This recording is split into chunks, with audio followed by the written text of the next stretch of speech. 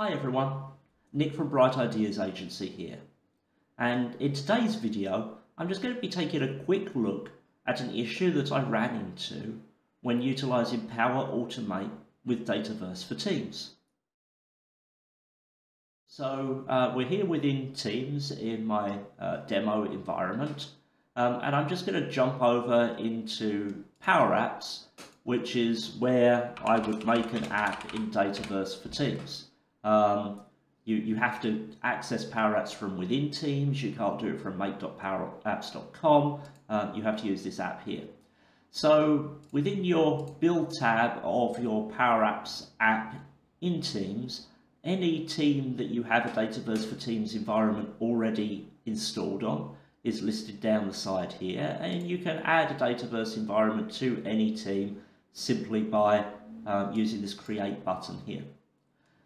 So here you can create an app um, and I can create an app, I can create a chatbot, I can create a card. There is no, um, I don't know why that happened, but there is no option to create a flow from here. So if I jump into my app, I've just got a demo app here with, with nothing in it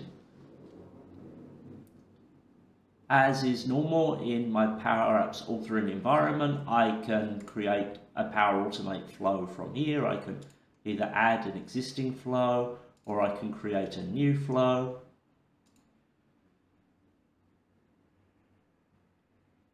But the trigger of these flows that you create from within Power Apps is always Power Apps.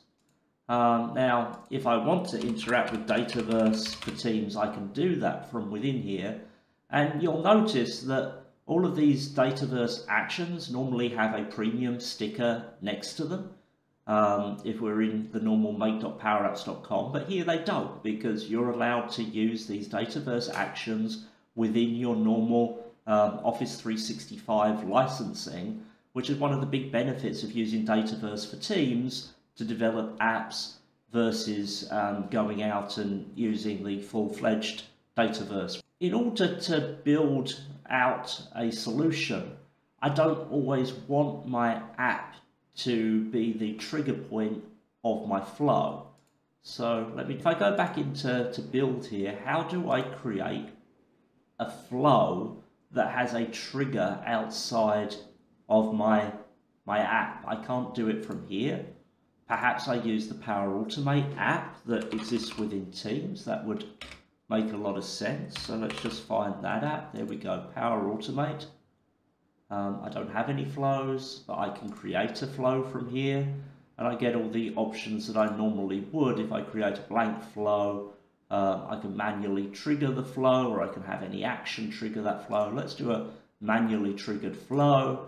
Um, so I'm just going to grab some data from Dataverse and that's weird. These premium listings have come back again. So if I want to list rows, I have to start a trial, I have to have a license. So um, it looks like I can't do that.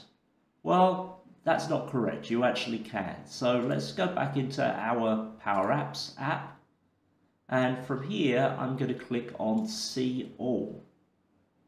And that's going to take me to a slightly different view of this uh, environment.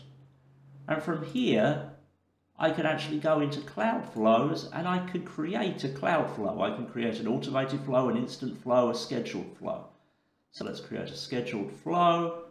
I'm going to do it once a day. Um, and then I'm going to click create. I've got my recurrence trigger here. I'm going to create a new action. Let's go into Dataverse.